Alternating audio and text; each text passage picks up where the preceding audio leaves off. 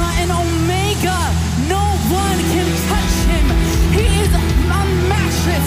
Come on. He is indestructible. He is omnipotent. There is no one that can come against the God who came against death, who broke every curse, who healed every sickness. That God, He is in this place with us right now. And He's not finished yet, amen? He's just getting started.